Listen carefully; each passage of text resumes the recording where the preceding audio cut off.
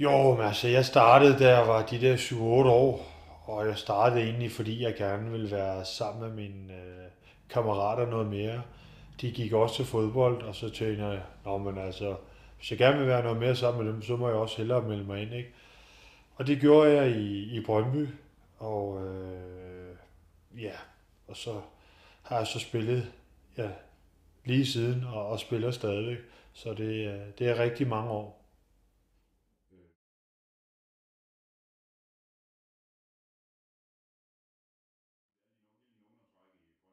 Ja, og så tog jeg det sidste år som ungdomsspiller, tog jeg til KB øh, og spillede der et år. Blev så indlemmet i FCK-truppen. Var der en 7-8 år, tror jeg.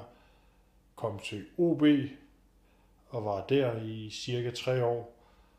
Øh, efterfølgende blev det en tur i Brøndby. Også på cirka 3 år, tror jeg. Så tog jeg turen til Tyskland et enkelt år, og derefter blev det OB i fire år, og nu er det FC Jørgen.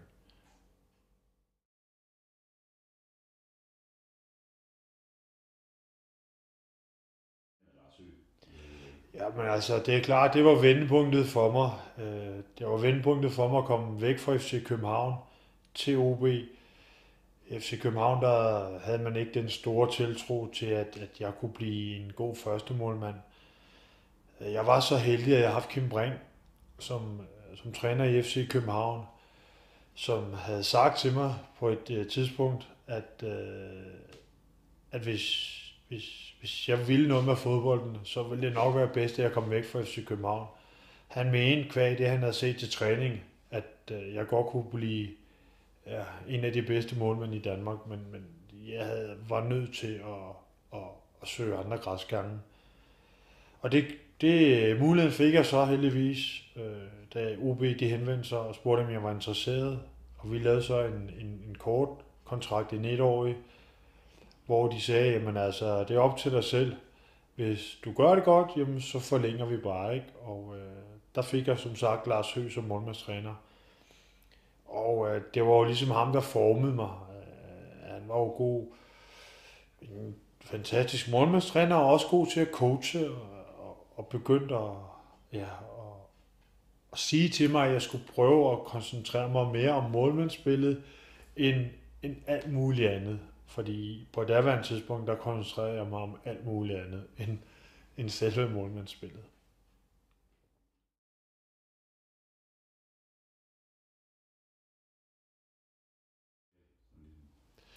Ah, Jamen, det var en øh, kæmpe stor ting. Vi, vi vinder, så vidt jeg husker, 2-1 i parken over FC København, som alle forventede ville vinde. Øh, men vi havde et godt homogent hold på det tidspunkt. Øh, så det var en dejlig fornemmelse, absolut.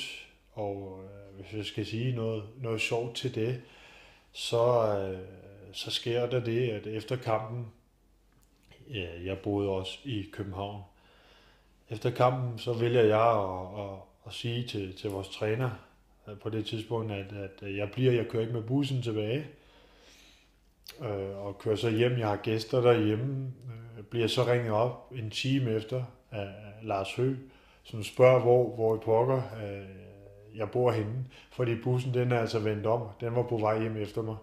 Så der trillede en bus ind i Charlottenlund, hvor jeg boede på det tidspunkt, for at, at, at samle mig op, for at køre tilbage til, til Odense. Og det er jeg rigtig glad for, fordi vi blev modtaget på Rådhuset, og der var øh, et hav af mennesker, som selvfølgelig tiljublede os, og, og det husker jeg stadigvæk øh, den dag i dag. Så det var, det var en fantastisk oplevelse, og, og en stor tak til Lars Høgh.